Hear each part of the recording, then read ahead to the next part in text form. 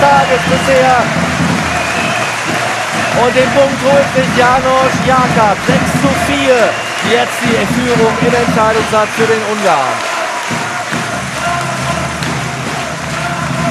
Den sie so sehr diesen ersten Sieg gönnen, die Fans in Düsseldorf.